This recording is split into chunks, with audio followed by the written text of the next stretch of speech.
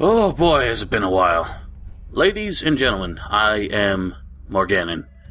So, over two and a half years ago, I began making videos for Dark Mysteries. It was a mod for Gothic, which uh, had impressed me the first time I played it, but I never actually got around to finishing it, and so I decided to uh, use that as what came up to be my second completed series on YouTube. Speaking of which, we are actually very close to reaching my third year since I began making videos. Time has flown, it really has. So, uh, the video series I did for Dark Mysteries didn't really hit very big at the time, but that was largely because I was just such a small channel and uh, wasn't exactly something that people were looking for. But by the same token, it was also something that didn't there was no video of on YouTube, and so that's why I decided to do something that no one else had done before, and uh, it turned out to work pretty well for me because it grew kind of as a sleeper hit into one of the biggest things I've done. Uh, it has been surpassed in recent years by uh, Gothic 3, for example, but it, still kind of can, kind of continues to get uh, a lot of views, which surprises me. Unfortunately, it just turned out to be a really buggy, unfinished mess of good ideas, and as such, uh, I consider the basically consider the walkthrough to be a failure, uh, simply because I could not complete it without using cheats uh, and console commands and everything, and the story was pretty much broken as a result of certain quest triggers that just would not activate. activate. Sorry, I think I'm getting a little tongue tied. It's been almost a month since I actually recorded anything. Um, so with Gothic 2 and 3, as well as every Risen game already completed on my channel, I thought I would just kind of return to my roots and create a just top to bottom redo of my Gothic walkthrough with no mods whatsoever. Uh, I was convinced to attempt the Golden mod, which was mostly a an attempt to, I guess, just really patch the game, but also add a little extra content and try and restore content that was cut from uh, Piranha Bytes' um, premiere release, uh, such as the uh, Quentin and the Bandits uh, in their little hole near the uh, Troll Valley, and uh, also allow you to assault the free mine if you're a member of the guards.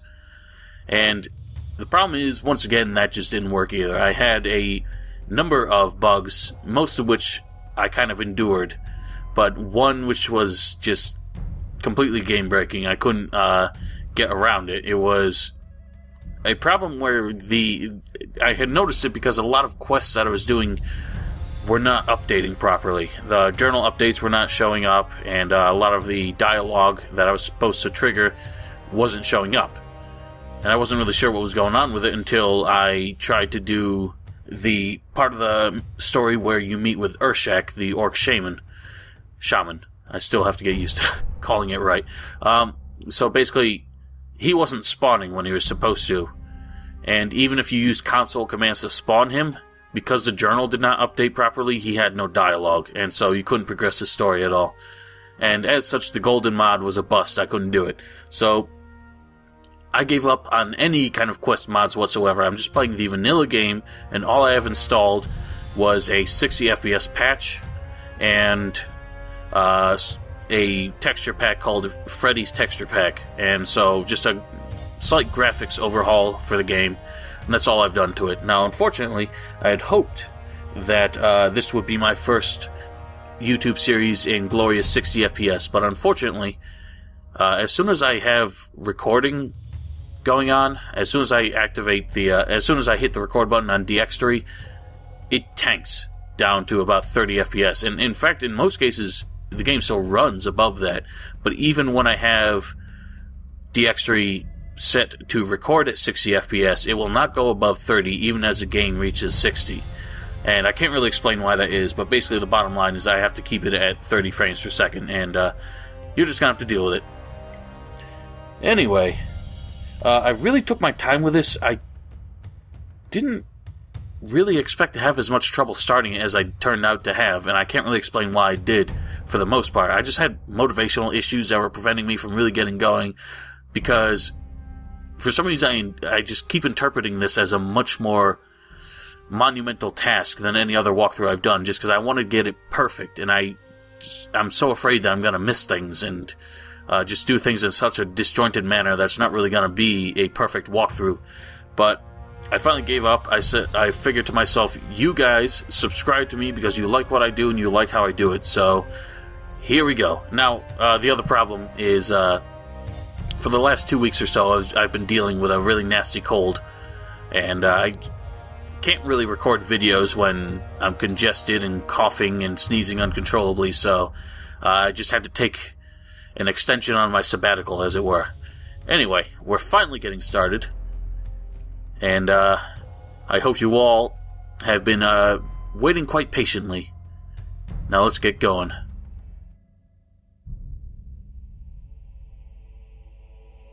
The kingdom of Myrtana united by King Rhobar II.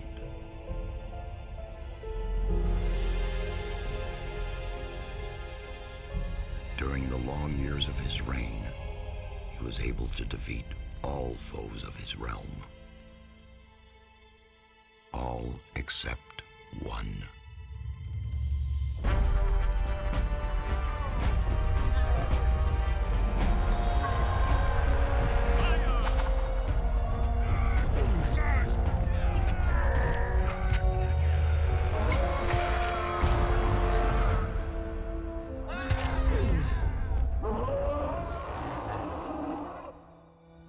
War against the orcs took its toll and the prisoners of the realm were to pay the price. The king needed swords for his army, and every man guilty of a crime, no matter how insignificant, was forced to work in the ore mines of Khorinis. To make it impossible for them to escape, the king sent out the best magicians of the kingdom to create a magic barrier around the entire valley. I was one of them. Uh, something disturbed the delicate structure of magic. We were trapped inside our own barrier. One second of negligence was enough for the prisoners. Khorinis was now under the control of the convicts. The king had no choice.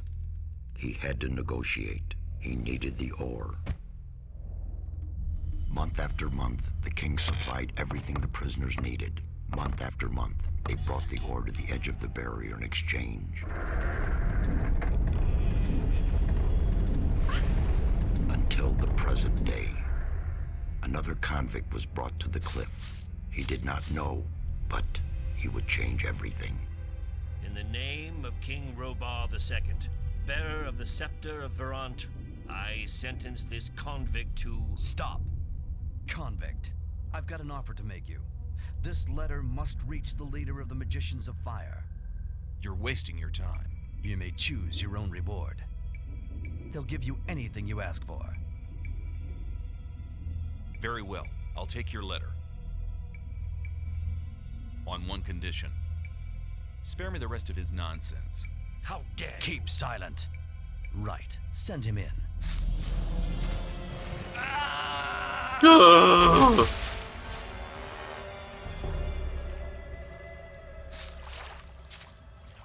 Welcome to the colony.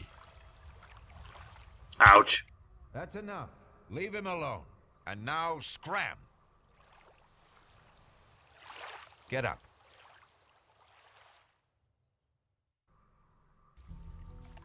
I'm Diego. Hey, Diego. I'm... I'm not interested in who you are. You've just arrived. I look after the new arrivals. That's all for now. If you plan to stay alive for a while, you should talk to me. But of course, I won't keep you from choosing your own destruction. Well, what do you think? Now, I just have to point out that, um, of course, everyone is well aware that the nameless hero is never actually given a name throughout the games. And, uh, it's not that he has no name, it's just that there's a convenient reason why he doesn't tell it to anybody who asks, or uh, even is prevented from telling it to uh, just out of, out of his own uh, will. And it's just kind of funny to me that Diego, right off the bat, says he's not interested in who you are. And as a result, throughout all your trials and tribulations, through all three games, and I'm not including the uh, non Piranha Bytes uh, releases, means he never actually figures out what your name is. In spite of the really close friendship that you guys have. And it's just, it's especially poignant for Diego because he's the only one who outright refuses or outright just prevents you from actually saying your name to him, whereas nobody else even really bothers to bothers to ask, and your character never bothers to tell them. So that's just very amusing to me. Okay, what do I need to know about this place? We call it the Colony. You'll know already that we produce ore for the king. Well, at least we do, in the old camp. There are three camps within the barrier. The old camp is the biggest, and it was the first. How do I get to the old camp? You just follow this path. The old camp is the next reasonably safe-looking place you'll come across. There are a lot of wild beasts between the camps. You'd be mad to walk around without a weapon. Where do I get a weapon? When you get to the old mine, have a look around. I'm sure you'll find something useful. The mine is easy to find. It's just a few meters along the canyon. Why did you help me? Because you needed help.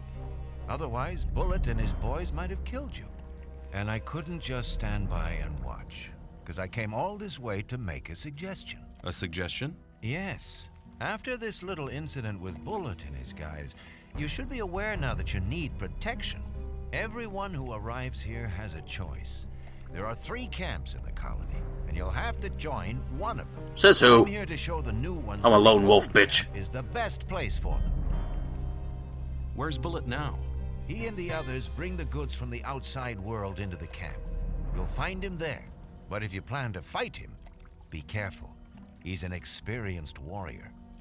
Now, I just have to point out, Diego talks about how he's trying to convince all the new arrivals that the old camp is the best place for him, and that might not necessarily be untrue if you're already like a really strong fellow who can really work his way up. The problem is that the old camp has a nasty habit of abusing all the new arrivals, as we've, as we've already seen with Bullit.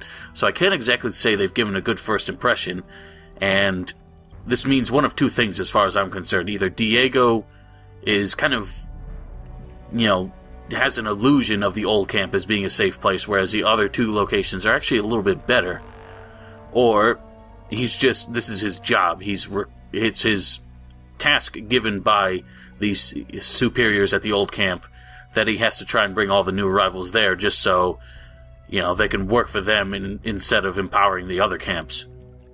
I have a letter for the High Magician of the Circle of Fire. Really? I was given it by a mage shortly before they threw me in here. You're lucky I can't afford to show my face around the mages anymore. Anyone else would gladly slit your throat for that letter.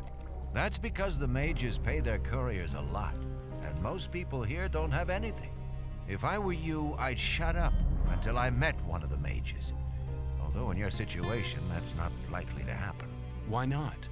The mages are in the castle in the old camp. Only Gomez's people are allowed to enter the castle.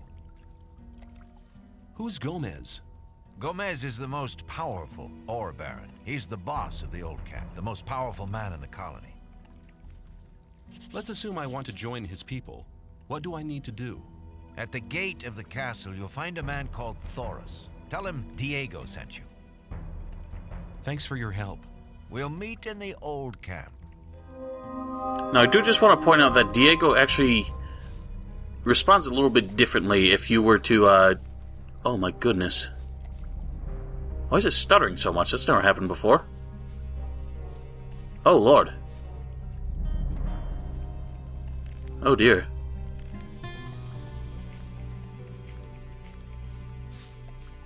Uh, that's not good.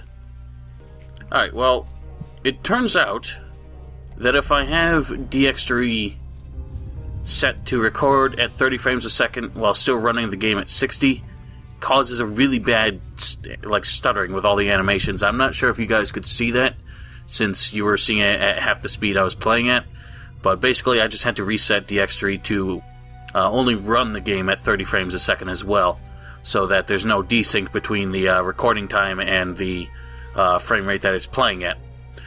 Which is unfortunate because that kind of defeats the purpose of actually having the FPS unlocker. But uh, the FPS unlocker prevented the game from being run at, I think it was capped at 24 frames per second before, which was just kind of the way uh, some of the older games, like the older 3D games, just how they did it. Because 24 frames per second is the same as a film uh, records at. So, uh, just retroactively, modders have uh, enabled the game to run at 60, but the problem is the game's not really built to run like that. So it, it causes a bunch of animation problems, and in fact, running at a 60 also causes problems with turning your character. If you were to have the FPS set to 60, you would notice when you're trying to turn with a mouse, for example, he would just kind of stutter, and you would only move about this this fast. So it really fucks with the mouse sensitivity and everything as well. Unfortunately, we're just gonna have to endure the uh, inferior frame rate, but so be it. Now, this here is the uh, essentially the trading post. This is where the uh, all the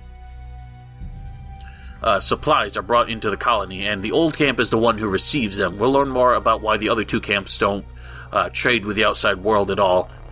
But basically, yeah, the barrier prevents anyone from coming or going. Well, not exactly true. You, we saw in the intro there was actually a woman who was uh, delivered into the camp on the uh, on the lift here, and she was able to make it through the barrier just fine. And as well, our character was shoved right through it from uh, right up there.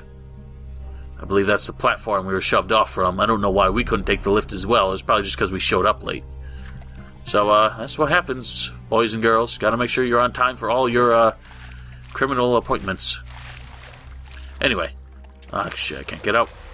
So yeah, basically the barrier lets people in, but if you were to try and get back out, we'll see what happens. So let's say we were of a mind to try and escape. Sure, the uh, landscape is not exactly uh, what you would call forgiving as far as trying to escape, but we'll give it a try anyway. Maybe we can use this as a uh, ladder or a ramp of some kind. Huh, I'm glowing. That's probably not a good sign. Let's try and get on this then. Oh! Well, never you mind then. So that's what happens with the barrier. And all around here, there's just kind of some inane stuff you can grab. Just some um, very minor loot to try and help you get started. And uh, as far as the barrier goes, we also see further signs of people who are of a like mind as us, if you were to gaze down here. There's a whole bunch of skeletons kind of stuck down here. There could be people who simply died from uh, maybe drowning, because apparently, if you don't make it in time to use the lift, the, uh, oh shit, the soldiers will just shove you down there. Alright, well, I seem to have glitched myself a bit. Thankfully, there are Marvin mode commands to uh, deal with that. There we go. Oh yeah, I forgot. Uh, the I'll, I'll talk more about the console commands later, but basically F8 when you have Marvin mode enabled. Not only does it bump you up like that, which can be useful for getting out of sticky situations and uh, you know just kind of making travel a bit shorter. It also restores you to full health. So if you want to avoid, if, if you're just trying to save time but want to avoid actually cheating, you're going to have to avoid using that command as much as possible. Anyway, as far as Marvin mode is concerned, the way to enable it is to open the character menu, this uh, sort of profile here, and then type the word Marvin, M A R V I N, as fast as you can, and immediately close the menu. So, Marvin C. And uh, I, I usually just say Marvin C because I have the, the way I have my control set. C is the button to open this menu, so that's just how I do. Now, altogether, those of you playing this game for the first time might be really put off by the controls, and uh, of course, Gothic veterans are fully aware of uh, how to deal with this control scheme and uh, just its general shortcomings, but also how to just make the best of it. Essentially, the way you interact with anything is you highlight it by uh, just focusing your character's view on it, and uh, I will demonstrate that with these fools over here. While on the subject of controls, I just kind of want to add this in because I did uh, forget to mention it. If you rebind your keys, you will probably run into the problem where uh, the default functions of those keys are still active. So uh, you often get the problem where one uh, control will actually try and perform two functions at the same time.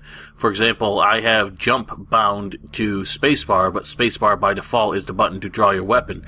So oftentimes when I'm trying to jump, he'll just uh, draw his weapon instead. So uh, it's just kind of annoying. You do have to deal with that, and uh, essentially just because it's so screwed up, you have to just get used to using the default keys as much as possible, or just finding out, you know, how to avoid ways to avoid performing the function you don't want it to actually do.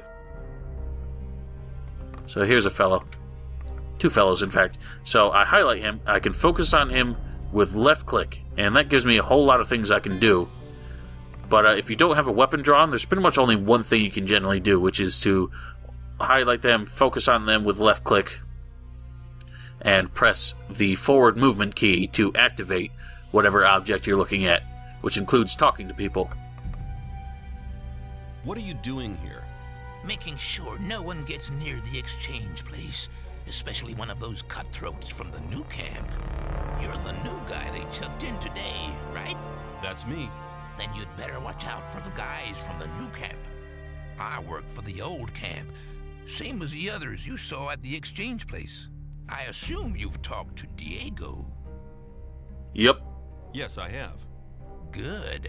Then you know what's what around here. In general, I can't say, uh. You'd better. Whoops. I can't say that, uh. He taught me everything in a matter of minutes. Now, I am going to turn down the, uh.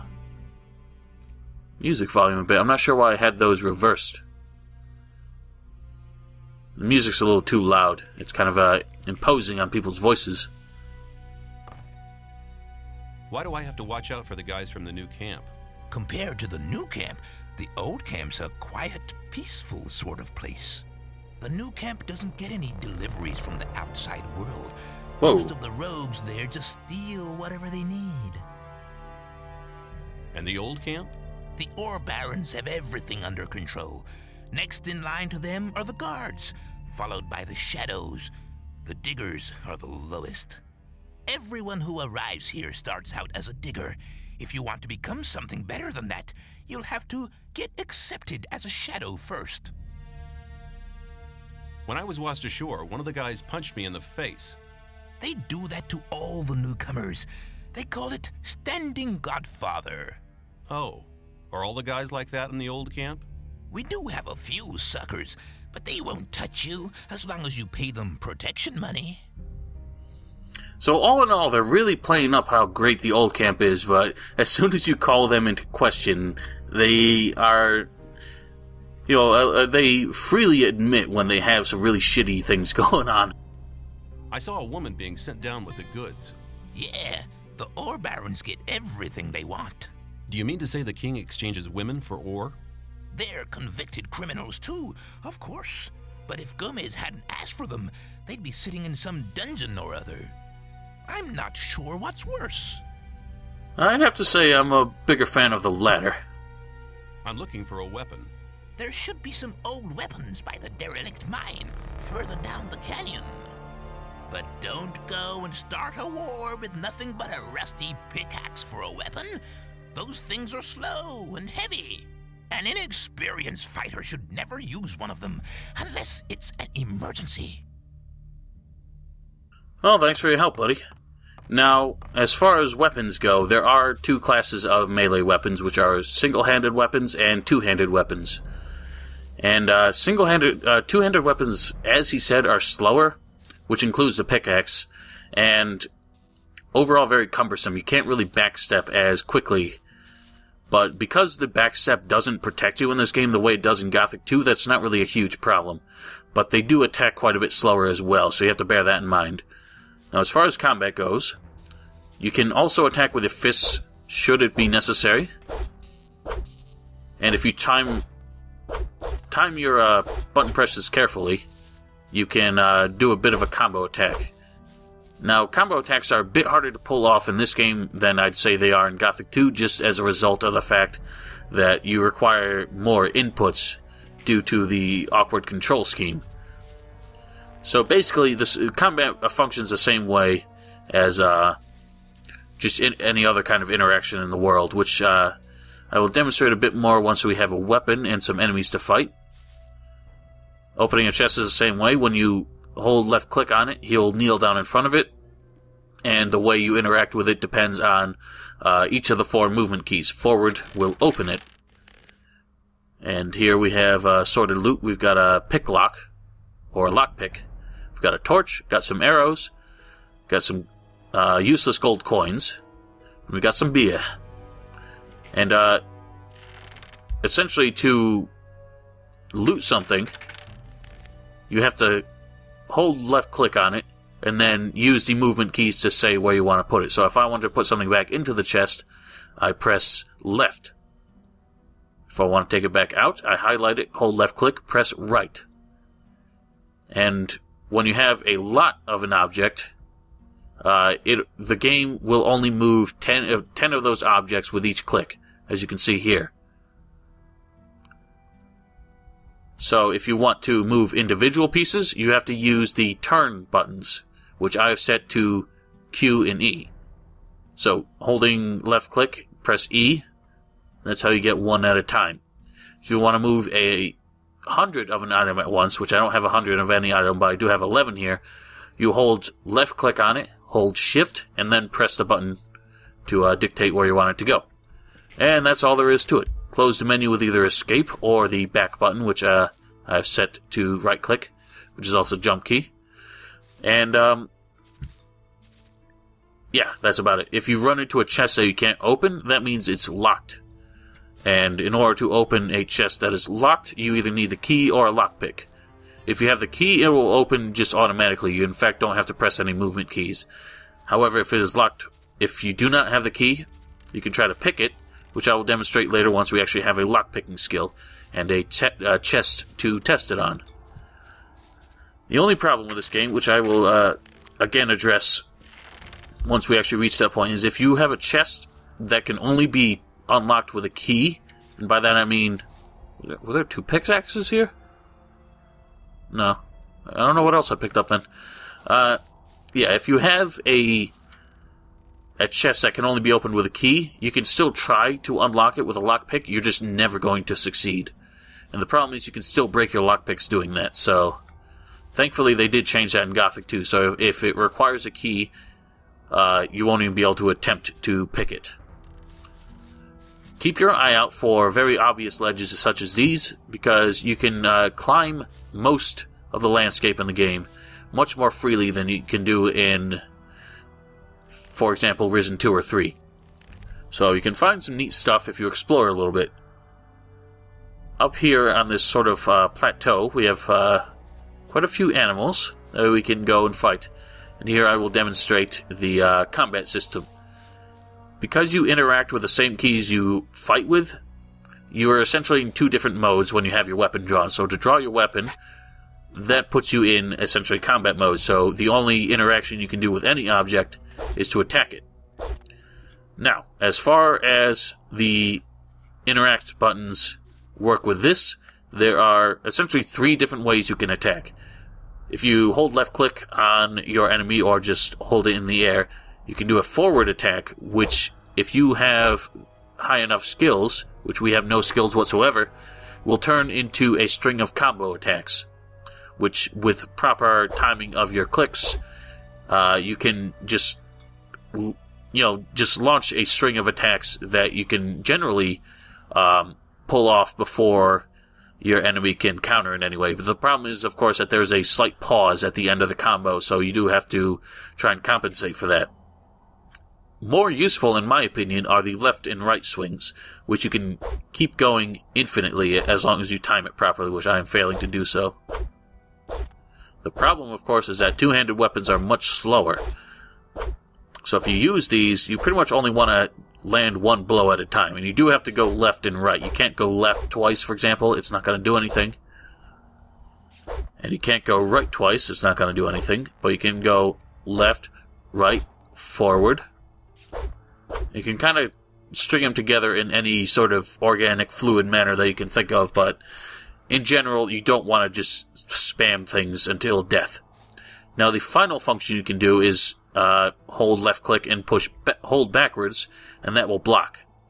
The only problem with blocking, you might be tempted to try and do it after attacking, and oftentimes it just doesn't respond properly. And if you take a hit, of course, your reflex might be to try and block after that. But I notice there's seems to be a glitch where you just can't get your block up immediately after taking a hit, and so that often opens you to taking a lot more hits if you get a little panicky. So you just kind of have to bear that in mind. Unfortunately, even with a back step, there's no way to really dodge in this game, and this demonstrates when you have a two-handed weapon, the back step kind of has that weird second step afterwards, which is what slows it down so much. So that's why backpedaling is uh, even less useful with two-handed weapons. Anyway, let's try fighting. Here we've got two mole rats who don't seem too worried about me. Now they are. So if I hold block, you can attack. You can block any melee attack in the game, including from animals. That was changed in Gothic 2, but it's the only way you can defend yourself in this game. Now, of course, blocking will only work for them in the front. So if I allow this guy to get behind me, he would still be able to hit me, even if I had my weapon up. So if you understand the enemy AI, you can just launch a combo attack and prevent them from ever attacking you. But a lot of enemies are much more aggressive than these little uh, monsters are. What we found here was a club. The club is the first one-handed weapon that you can find if you go up in this direction. But because we have no skill, we still essentially use it as a two-handed weapon. It just behaves differently.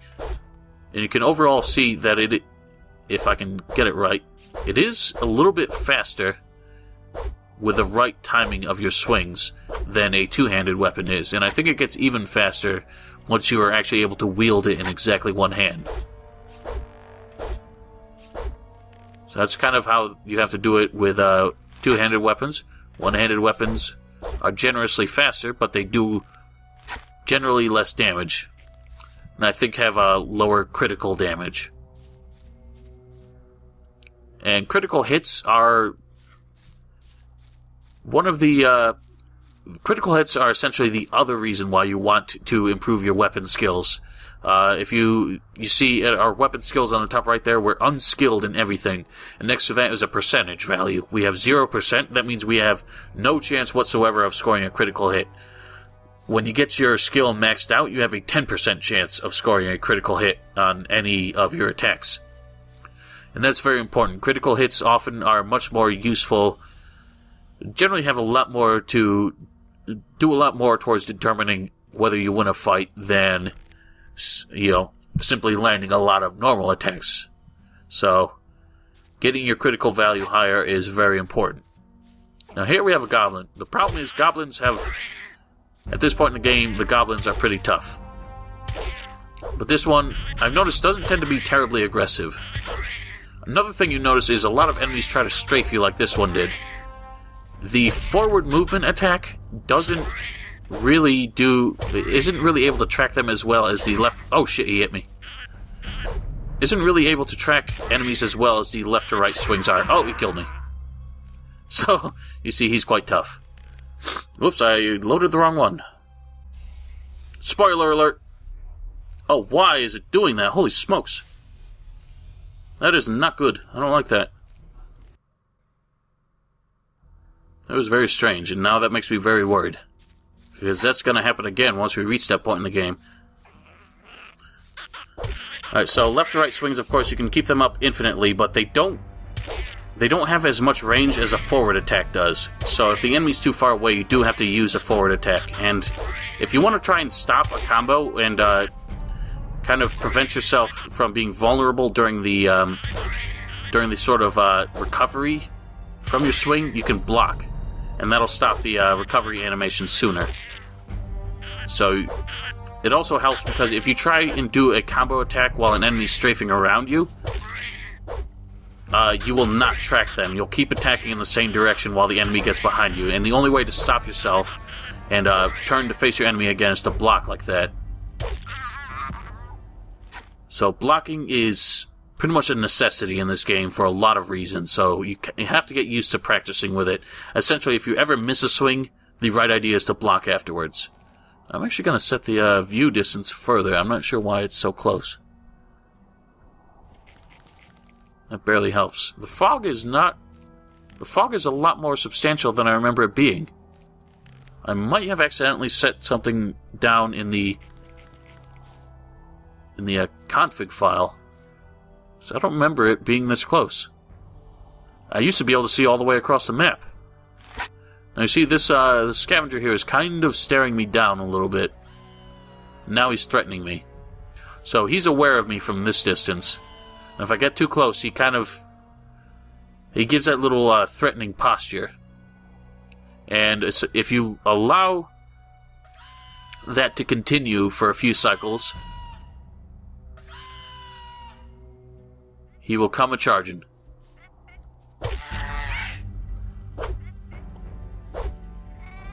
Come on, then. Not very aggressive, as much as he tried to pretend he was. So I'm going to figure out what happened with the uh, draw distance after I do this recording, so hopefully the game will look a bit better as a result. And if you're a little bit quicker, you can get the jump on some fellows. But unfortunately I missed my swing there, so... Either way, he is a wimp, and he was no threat whatsoever. Now, I'm going to tell you one of my favorite little exploits in this game. One that helps you travel a lot more quickly and safely. But, uh, if you guys don't want to kind of spoil the game and, uh, you know, exploit it the way I have no problem doing, I recommend you look away now. So essentially, what happens is if you fall off a ledge or jump off, all you have to do is hold the strafe key and you can avoid taking damage from the fall. So to demonstrate,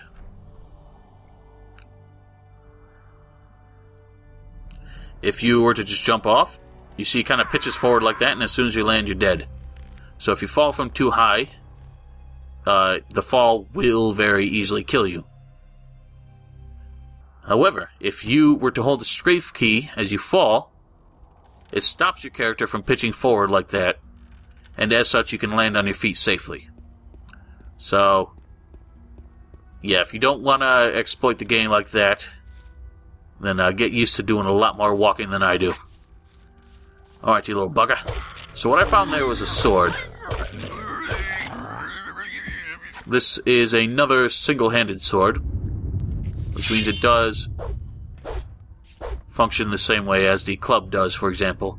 Now the problem is, for some reason, I don't know why, I never had this problem before, but the first two swords we find here seem to be glitched. For some reason, the, their range is substantially shorter than any other weapon in the game, and that's never happened to me in any previous attempts at playing this game. And for the record, I am playing on the good old games version of this. I tried the Steam version, and it just it didn't really work with these mods that I had installed, so it was uh, hugely problematic. And so, I'll kind of demonstrate. It's either this sword or this sword here, this old sword, or it might be both of them. I don't really remember, but for some reason, like it led me to think that there might have been a glitch with um, one-handed weapons altogether that was preventing them from actually having the range that they were supposed to. But this one actually seems fine. So the range on the rusty sword is normal. The range on the old sword is what seemed to be screwed up. Let's see if I can demonstrate that as well. Or maybe that's gotten fixed, because I did reinstall the game at some point.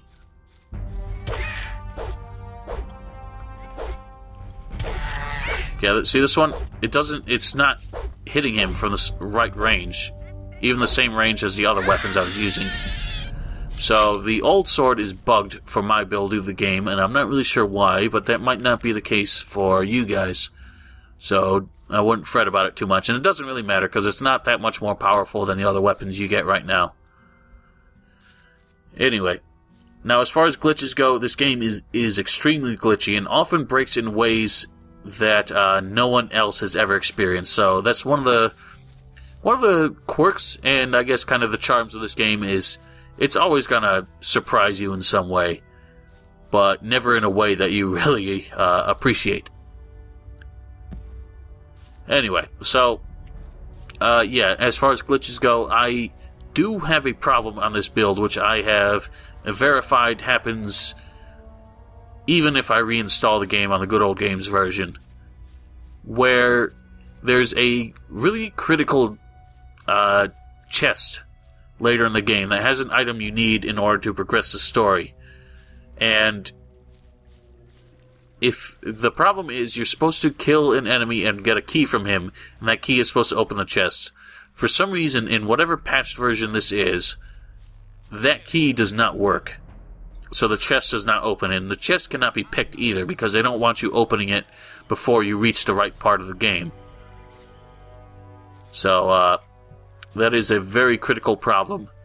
But I found a workaround in the sense that all I have to do is use the Marvin Mode console to add the items I need. Oh shit, the water's flickering. Oh dear, I thought I dealt with that. Hopefully that won't be as bad as it was before. Now here we got some fellows here, and these guys look different than the uh, dudes we have encountered thus far. They're wearing different outfits. They don't quite look as uh, militaristic as the other guys, so let's have a word with them. Hey, you. Hey, What do you want? I want to warn you. If you continue this way, you'll be entering our hunting ground. What do you hunt? Mostly scavengers. There's a lot of meat on them. Besides, it ain't too hard to get them. Once you know how. Really? How's that? Ask my friend Drax here. He knows more about these things than anyone. Why is this area so dangerous? You've just arrived, haven't you? There are different areas in this colony which are all more or less dangerous. The paths between the camps are quite safe, but even there you might come across some wolves which look on you as uh, easy prey. And that's exactly what you are until you get a proper weapon and armor. Where can I get better equipment? The nearest place is that old camp. Just follow the path that brought you here. But you can get the stuff cheaper in our new camp, provided you know the right people. If you go to the old camp, ask for Mordrag. He's one of us. For just a little ore, he'll sell you the proper goods. now we'll meet Mordrag and uh, see what exactly he has to offer. But he kind this guy is kind of lying to us. Essentially, every item in the game has a base price, and no merchant sells it for more or less than another. So that's kind of a lie. But uh, what we've the vibe that this guy's given us so far is that the new camp is not quite the uh, gaggle of rogues and cutthroats that uh, so far everyone from the old camp has implied them to be. Tell me more about the areas of the colony. If you travel between the camps, you'll need a map to distinguish paths and dead ends. Dead ends often lead you to dangerous canyons where you encounter creatures you'd better avoid. Do not enter the old ruins. There are too many around here, and most of them are old fortifications dating back to the time of the First Orc War. Some are abandoned orc dwellings. There are often orcs in those ruins, or even worse creatures. I'd avoid those places, especially at night. And one more hint don't go into the forest. Where do I get a map? Ask the people in the old camp. There's a cartographer living there. M- Maybe you can steal one of his maps. If you manage to do it, take one from me as well. If I manage to get them without paying, I'll take as many as I can carry. You're all right. You should consider coming to the new camp. In case you go there, ask for Lars. He takes care of the new ones. I'm sure he'll have a job for you. And so what he says there does kind of uh, play into the idea that the that the new camp are at least a bunch of thieves, because he he was very encouraging uh, us to uh, steal from the old camp, which is we'll learn later is exactly how these how these guys kind of uh, subsist essentially. The only way that these guys the uh, new camp stays alive because they don't really trade with anybody else. Thanks for your help. Don't go thinking everyone's gonna be so friendly, kid. There may not be much in a newcomer's pockets, but some folks would even beat you up for a pickaxe. I'll keep it in mind. Alright, so that's all this guy has to tell us. And, uh, he tell he kind of suggests that he will uh, give you maybe reward you if you were to steal maps from the cartographer in the old camp, but that's not actually true. First of all, you can only get one map from the cartographer, and you can't steal it from him exactly. I've tried stealing. I've tried going through to the guy, trying to pickpocket him, trying to open his chest and everything, and he does not carry any other maps apart from what he has in his merchant inventory. And the one that you can get from him with, uh, you know, dialogue options. So, uh, that's there's nothing you can actually do. He won't reward you for giving him a map, and you have no way to give it to him, of course. What he says about the dangerous areas of the colony is actually very much true. Um, there are monsters pretty much everywhere. The camps are the only remotely safe places, and even then, you do have to worry about the fact that uh, you know this is a colony of criminals, which uh, is kind of a point I really want to address as well. Um, but yeah, basically, you don't want to wander at all at this point in the game. You want to kind of stick to the safer areas around the camps. There will be monsters there as well. You can uh, kill them and level up, which is you know kind of what you got to do. Apart from that, you can just handle quests, which you get experience from, and that'll help you level up as well. But all around, until you get some armor and a decent weapon, you really don't want to fight anything besides the uh, juvenile animals roaming around here. And uh, as far as this colony goes, so far all we've seen are criminals. Everyone here is an asshole, or at least uh, we are well aware that everyone thrown into this colony is a criminal. They're convicted of crimes and they're sent here by the king's orders to work and uh, mine ore and then deliver it to the uh, kingdom. And they're pretty much here for good. They're sentenced to life of servitude, essentially. And what ended up happening is the when the barrier was formed to keep them in here, it distracted the guards who were supposed to watch over them, and that that's something one of the uh, kind of weird little plot holes that I've never really gotten answered for me is were the guards aware of the fact that they were going to be stuck in here with uh, convicts? Because they were clearly in the castle when the barrier was formed, and the castle was clearly part of the area that they intended to lock behind the barrier. So, were they also essentially sentencing these guards to life behind the barrier as well? And I'm wondering if the guards were even aware of it, because we saw that once the barrier was formed, the guards were all horribly distracted by it, and that allowed the convicts to revolt and take over the whole colony for themselves. So that's one of the plot holes I don't really get. And on top of that, uh, it also adds to the uh, really unique uh, setting we have going on here, which is, you know, an entire civilization of nothing but criminals. Almost nothing but criminals. There's about a ha- there's a handful of NPCs in this game who are actually not criminals, uh, mostly the mages. So it's just, it's very interesting. You I can't think of any other um, any other story that has a setting quite like this. So that's definitely one of the biggest appeals of this game to me. You're hunting, aren't you? Looks like it. What do you want? Do you have some hints for the hunt? I could teach you a few things, but everything has its price. Which would be how much? A good gulp of beer will do to start with. Then we'll see. Well, I happen to have one of those. It's a bit warm, but uh, Here you are. Take a beer and tell me about hunting. Scavengers. That's what we call the big birds. Should be attacked one after the other. It's easy to lure single scavengers from the pack. If you come too close, they'll become irritated. After a while, they'll storm in your direction. At this point, you should be waiting for them with a raised weapon. If you manage to strike the beast before it hits you, you have to keep fighting. Then you'll be able to defeat the creature without being hurt yourself. If it hits you first, well, uh, just don't let him. Now, what he's saying there, he's basically saying once you have struck the enemy, you have to keep up the assault. You pretty much have to spam them to death. And of course, that's a bad idea. You can block their attacks, and it is often very strategic to do so instead of attacking.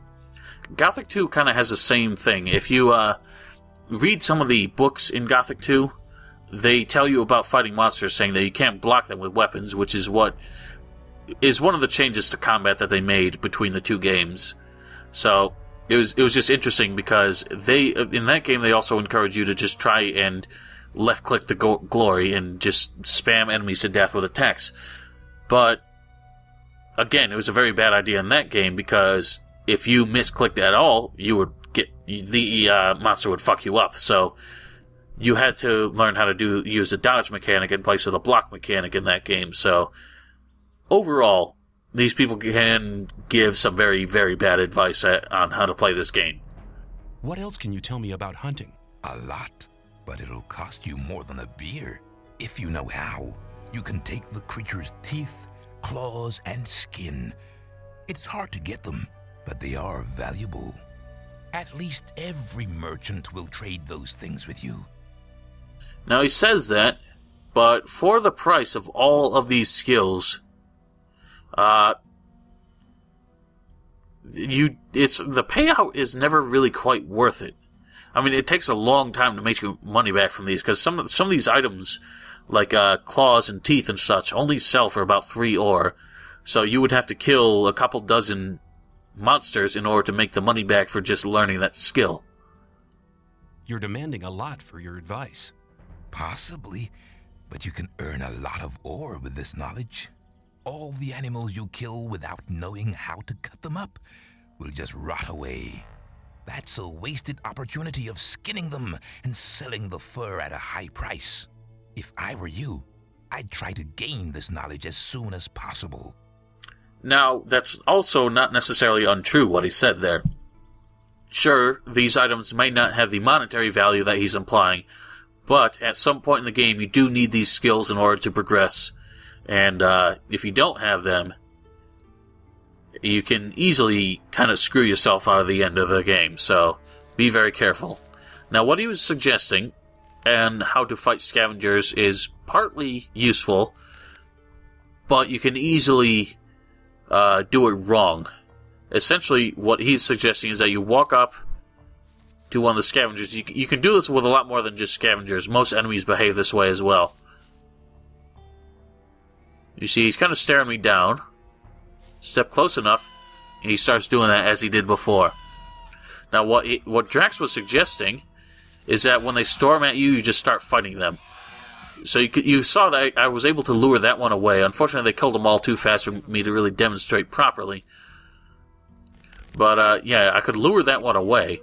But if I did what Drax suggested and attacked the thing as soon as it neared me, they, he, we were still close enough that I could attract all the rest of the scavengers just by attacking that one.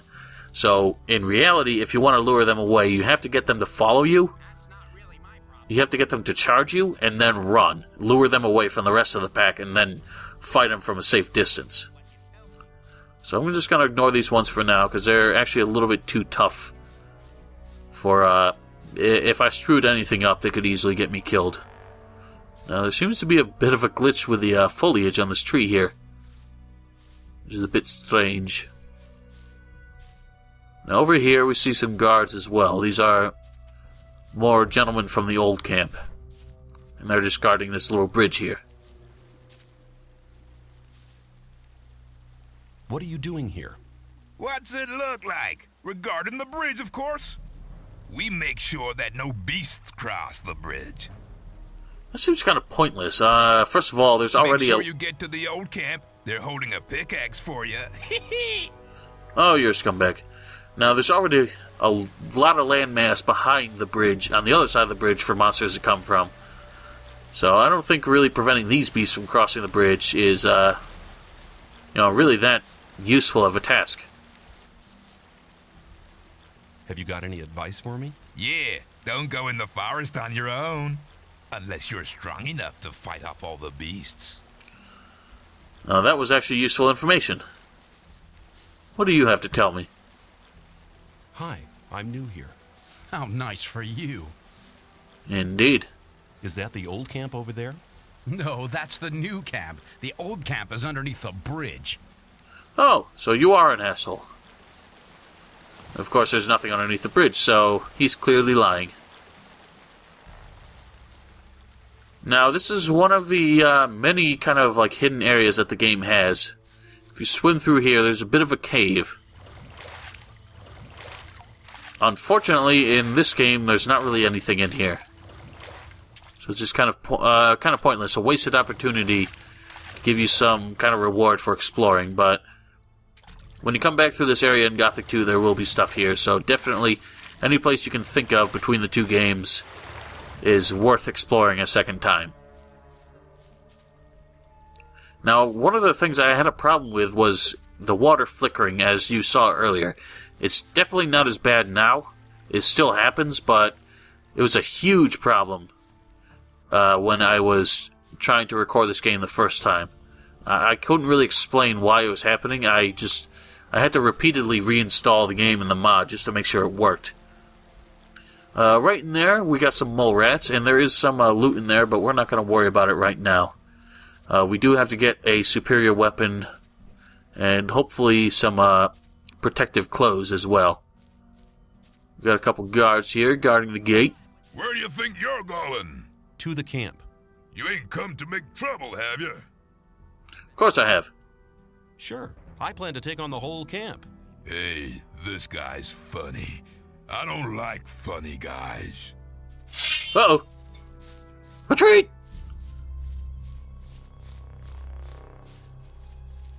Actually, you know what? I'll just demonstrate. Try that again, and you'll regret it. Now, unfortunately, he's taking my money. Shit, he hasn't even got any ore on him. I don't? I thought I had some. So, you can see that we're still breathing. We're not quite dead, although our health has reached one. so, the uh, one of the unique things about this game that most other games don't do is that being knocked down by a melee attack does not outright kill you. So, uh, if you want to kill someone who gets knocked down, you have to attack them while they're down, and it will uh, perform a killing blow on them. So, this means you can get in a lot of fights in this game and not have to worry about dying. The problem is, as you saw, he was trying to take my gold, my ore. He didn't take any because I don't really have enough.